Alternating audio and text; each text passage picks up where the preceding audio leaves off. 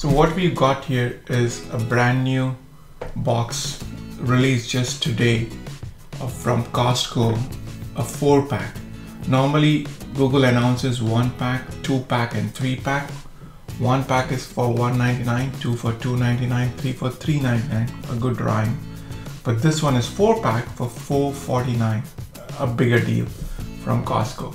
So let's see what we have here. If you open the box, it's an interesting way to open it. Uh, you, you gotta make sure you kind of flip it on this side. Now, we have got four pack. The box looks really small, so I don't know where the four units are, okay? Uh, but let's see.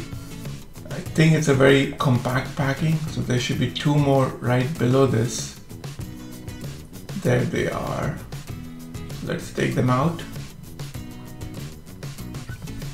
And as you can see, there are four power charges and this looks like uh, we have an Ethernet cord uh, for the main, main, any one of these can be treated as a main router and the remaining will become the points as, as they connect into a mesh network.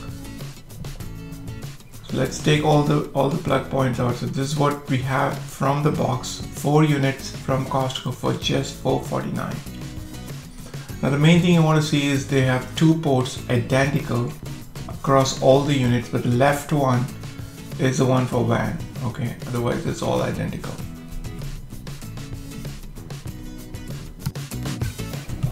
So let's see what's on the box. 6E, 1 gigabit Ethernet ports, Wi-Fi Pro and it should cover up to 8800 square feet. Let's get more into details with this. So let's see how to connect this. We have Nest Wi-Fi Pro. We should be getting the internet from a ISP, right, through modem. Connect the modem to the WAN port which is a globe looking port on the Nest Wi-Fi Pro as you can see a globe there and on the right side what you see is an extension port so take that extension port dotted thing right shows extension so take that extension and either put it to a switch to get more ports or you can directly connect to the other Nest Wi-Fi Pro as well now realize one thing Nest Wi-Fi Pro is wireless so you can always go wireless between the two units. But if you are wired, then go through wired either through a switch or directly.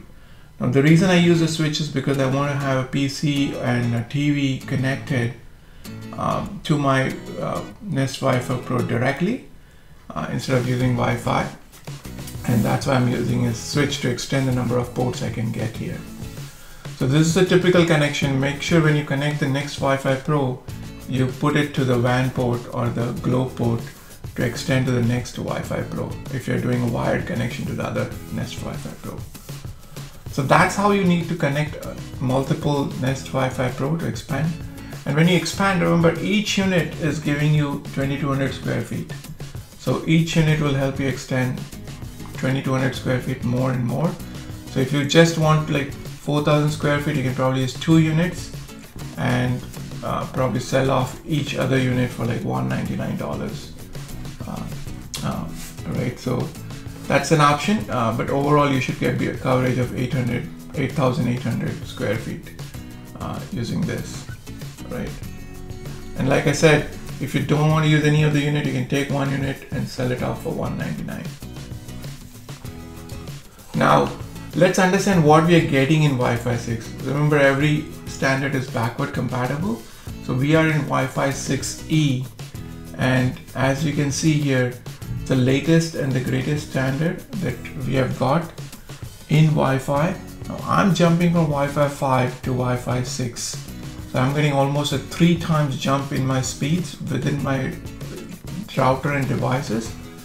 The main thing here in Wi-Fi 6E as you can see is getting the 6 gigahertz uh, spectrum which is a brand new spectrum added by FCC that will allow you to go much wider uh, much wider lane on your traffic giving you a very high speed almost double than the 6 and almost triple than the Wi-Fi 5 so this is what you should uh, expect in the latest standards now This router is the best deal on the current standard and if you want to get it back from Costco, I'll put a link there.